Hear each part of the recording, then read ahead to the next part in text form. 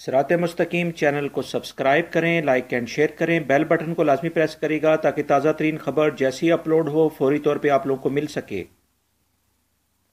असलम दोस्तों, कैसे हैं आप लोग? दोस्तों, एक ताज़ा तरीन खबर मैं आप लोग से शेयर करना चाहता हूँ, जो कि प्राइवेट सेक्टर में काम करने वाले जो लोग हैं, जो मुलाजमीन हैं, उनके लिए एक अच्छी खबर है।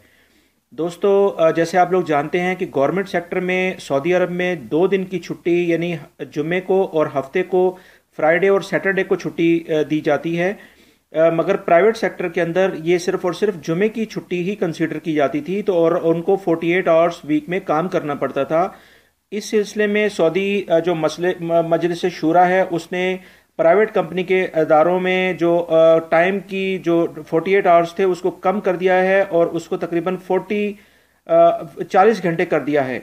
और हफ़्ते में दो दिन की छुट्टी की भरपूर हमायत की है।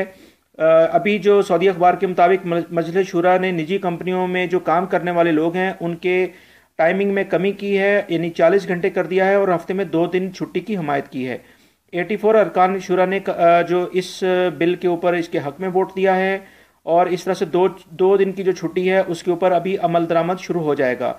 इसमें कम जो इन्होंने वाज तौर पे ये कहा है कि इस टाइम को कम करने से, यानी 48 घंटे से चालीस घंटे करने से जो भी मुलाजमीन है, उनकी सैलरीज के ऊपर कोई इफ़ेक्ट नहीं होगा, उनको वो उसकी मुकम्मल सैलरी दी जाएगी। ये एक लेटेस्ट न्यूज़ थी जो आप लोगों से शेयर कर रहा हूँ।